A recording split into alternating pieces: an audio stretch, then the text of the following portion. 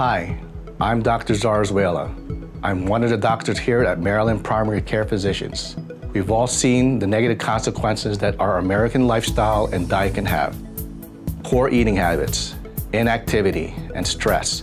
It all takes a toll and can lead to diabetes. If you've been diagnosed with type 2 diabetes, it's time to take steps to manage the disease.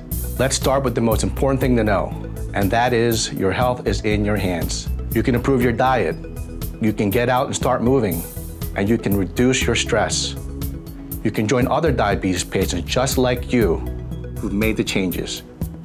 Your primary care doctor can provide the support and the tools to succeed, like a glucose monitor to help you stay on track. And you may be referred to a nutritionist to help you eat better. As you do the right things to bring your blood sugar back to normal and keep it there, your primary care doctor will be your biggest fan. It starts with making the changes that can make you healthy again. You'll see for yourself. Your health is in your hands. For more information or help managing your diabetes, contact Maryland Primary Care Physicians.